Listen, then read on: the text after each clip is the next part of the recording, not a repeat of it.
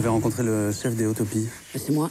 Alors, je suis anthropologue. Ça consiste simplement à aller à la rencontre de l'autre et à l'observer. Ces premiers moments sont précieux pour le chercheur. Sans le savoir, Oh, mais elles sont mignonnes les deux. il noue des liens avec ceux qu'il pourra un jour peut-être appeler ses amis. Alors, votre fils a disparu.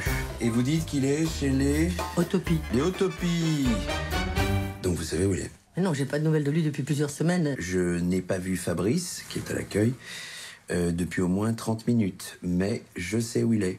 Il est dans la pièce d'à côté. Donc Fabrice n'a pas disparu. Vous comprenez le... Non, bon, n'en dites pas plus que je m'en fous.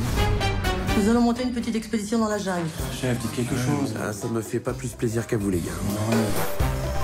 Je vous rappelle qu'on est sur une scène de crime, donc s'il vous plaît, vous ne touchez à rien.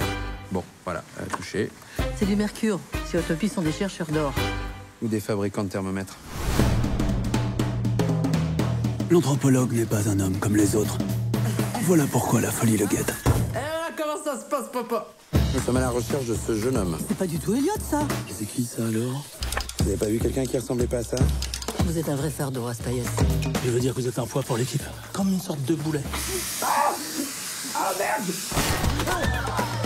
Ôtez vos sales pattes de mon chemisier, enfin C'est du lin irlandais Écoutez-moi bien, si je veux me torcher avec ça, je me torche. Je fais des petites boules avec, je prends un petit bâton et je me le fous dans l'oreille et je me la récure. Est-ce que vous m'avez compris? Je comprends surtout que vous êtes obsédé par vos orifices. Ah